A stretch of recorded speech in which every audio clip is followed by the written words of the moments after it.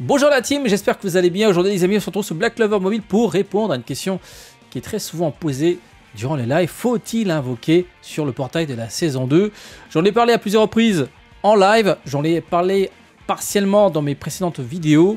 Euh, dans cette vidéo, ben, on va tout simplement euh, tenter de répondre le mieux possible à cette question. Le portail de la saison 2 est disponible après une très très longue maintenance qui a été, euh, comment dire, euh, qui a été prolongé de plusieurs heures. Donc désormais les portails, enfin oui, les portails sont disponibles. Il y, a le, portail des personnages et aussi un portail pour les pages de compétences. Donc en résumé les amis, parmi les trois personnages, le plus intéressant à aller chercher c'est Noël. Euh, elle va vous carry aussi bien en PVE qu'en PVP. Il n'y a pas grand chose à dire, c'est euh, c'est le personnage à aller chercher. Voilà, cherchez pas à comprendre, c'est absolument le personnage à focus. Ensuite, Charmy, c'est actuellement la meilleure healeuse. Voilà.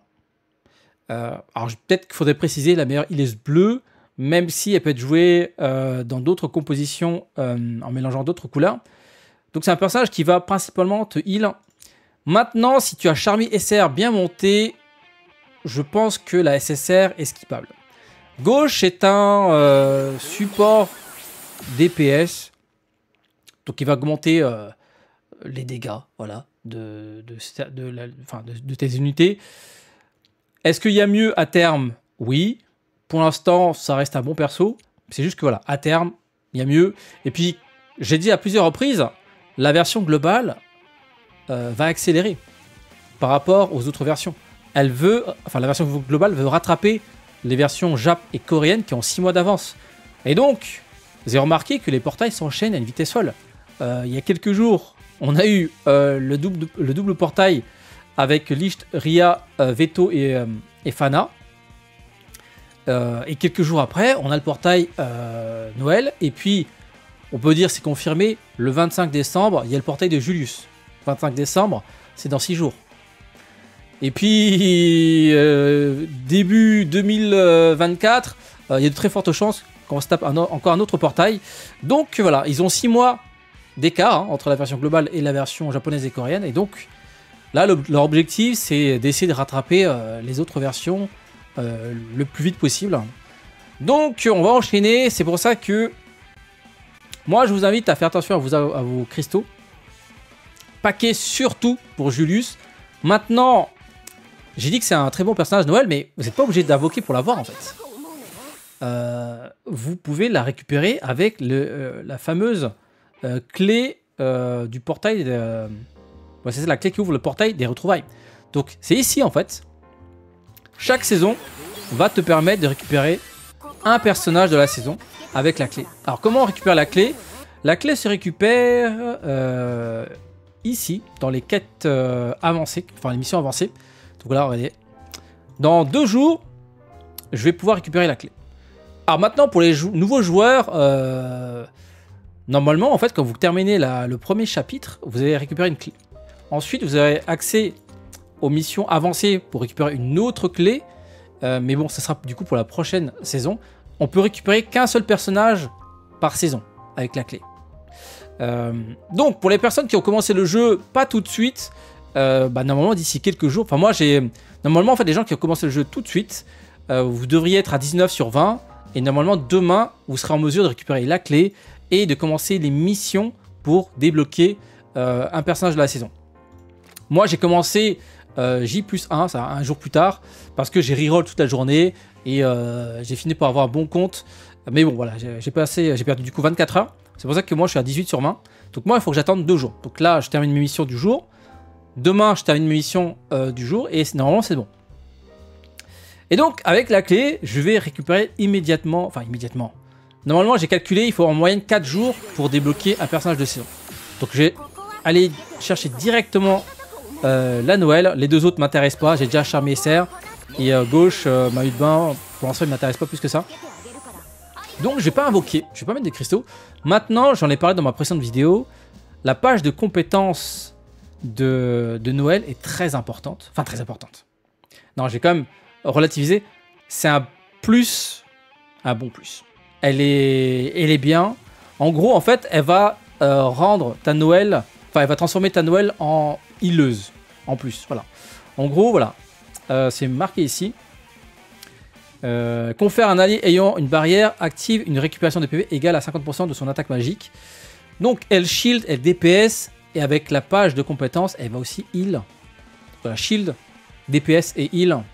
Elle fait vraiment beaucoup de choses. Maintenant, est-ce que c'est indispensable euh, Si tu l'as pas, c'est pas hyper grave non plus. Noël, ça reste un très bon personnage.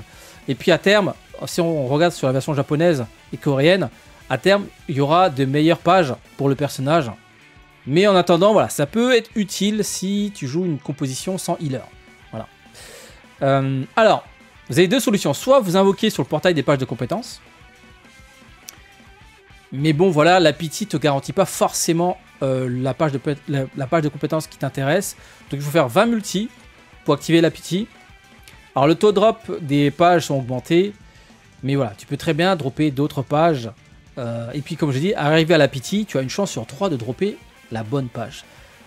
C'est vrai que c'est un peu pénible. Alors l'autre solution, malheureusement, c'est l'ACB c'est le Battle Pass. Le Battle Pass, j'avais complètement oublié, mais le Battle Pass te garantit euh, une page de compétences de la saison en cours. Donc là, la saison 1, je l'avais acheté. Du coup, j'ai récupéré un ticket qui me permettait de sélectionner une page de compétences parmi euh, les trois persos de la première saison. Et donc pour la saison 2, bah, c'est pareil en fait. Donc bon, c'est vrai que c'est quand même 16 balles. Euh, voilà, mais c'est bon. Bah, là, c'est la partie qui va plus concerner les cash players. Si vous êtes un cash player, euh, la meilleure solution reste l'achat de ce Battle Pass parce que vous récupérez évidemment le ticket sélectif pour la page de compétences, mais vous récupérez aussi pas mal de cristaux. Il y a en, moyenne, je crois, plus d'une multi et des poussières, plus encore diverses ressources. Donc clairement, le Battle Pass est extrêmement worse pour les cash players. Voilà. Maintenant, c'est à vous de voir. les gens qui ont de quoi pitié un personnage, moi, je vous invite hein, à garder en gros 24 000 cristaux euh, pour Julius. Julius, il faut absolument le chercher. Euh, Julius, en fait, il n'y a pas de portail de retrouvailles. C'est pas un personnage de saison, tu peux pas le récupérer avec une clé. Là, Noël, tu la récupères dans, dans, dans une semaine, tu la récupères gratuitement. Donc, euh, soyez, on va dire, pertinent dans vos choix par rapport à vos ressources. Parce que les cristaux ne sont pas limités quand vous êtes free to play. Euh, même pour un cash player, c'est compliqué d'invoquer sur tous les portails. Bon, moi, comme je l'ai dit, je suis un cash player, j'achète le Battle Pass plus euh, les passes mensuels, euh, qui sont les meilleurs packs pour, pour acheter des cristaux au, au coût les, plus intéressants. Et donc, moi, pour ma part, ma stratégie, elle est simple. Je prends la clé, je récupère Noël.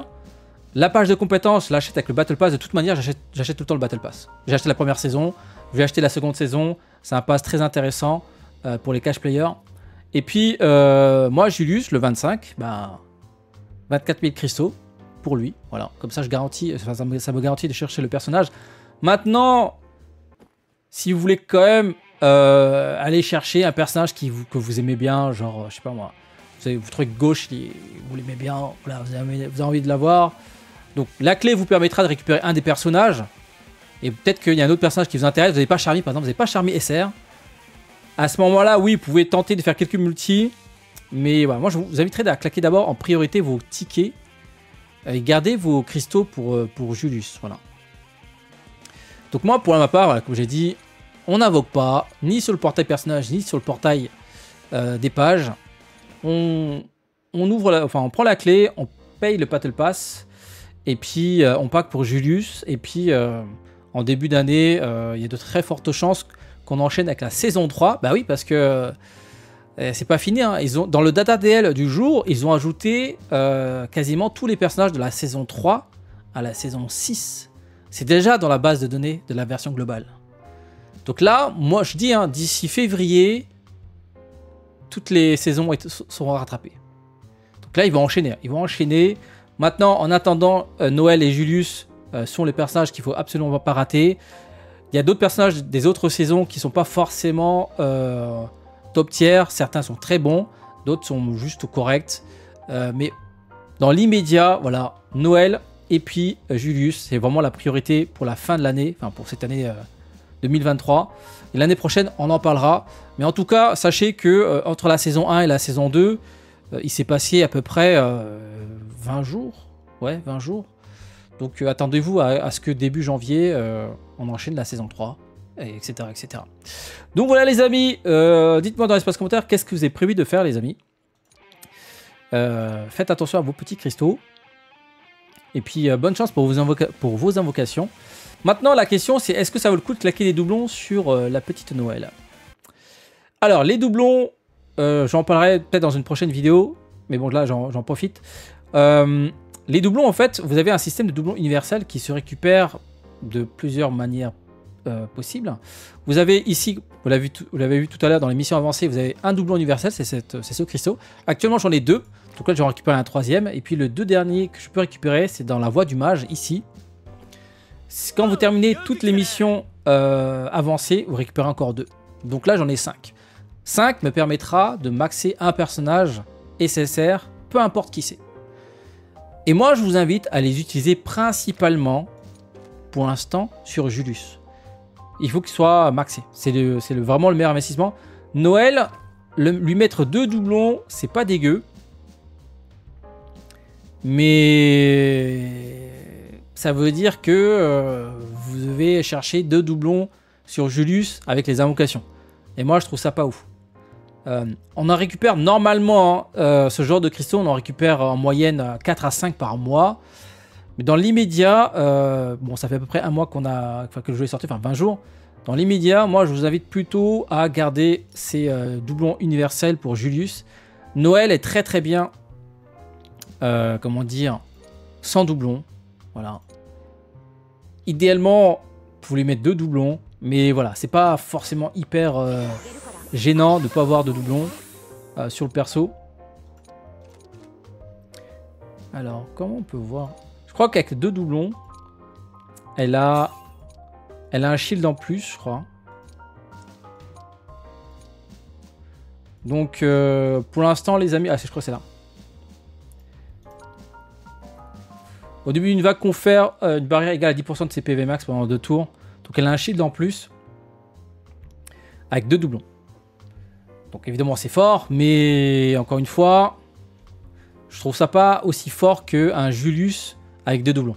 Voilà, en fait il faut... De toute manière, en fait, vous devez gérer vos, propres ressources. Maintenant, si vous arrivez à dropper deux doublons, tant mieux. Hein. Mais ça veut dire que vous avez vraiment beaucoup de chance sur les invocations. Donc voilà les amis, bon courage pour les invocations, portez-vous bien et rendez-vous tout à l'heure pour la séance de stream sur Twitch, vous avez le lien dans la description, n'hésitez pas également à vous abonner, c'est gratuit, n'hésitez pas également à mettre un petit pouce bleu et n'hésitez pas également à me rejoindre sur Discord, vous avez le lien dans la description, comme ça euh, si vous avez besoin d'aide, euh, d'autres joueurs pourront vous aider euh, sur le Discord, donc voilà, portez-vous bien et à tout à l'heure. Ciao ciao